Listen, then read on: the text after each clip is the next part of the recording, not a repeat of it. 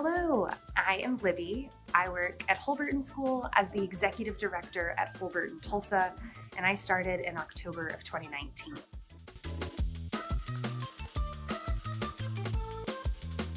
I would describe Holberton in one word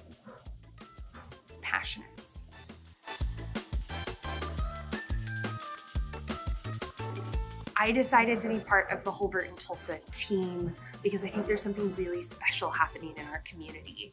Uh, there seems to be a spark, a little bit of momentum around uh, the technology sector, and I wanted to be part of making that talent pool possible right here in Tulsa.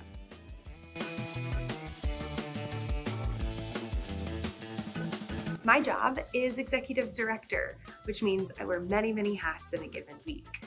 Uh, some days I help with student recruitment and getting new folks into our building to see the school.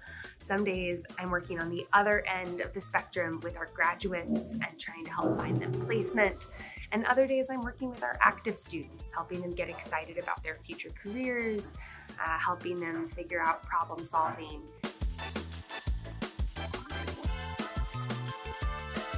One of the first things I do when I arrive in the morning, I walk into our campus which you can see behind me with a cup of coffee.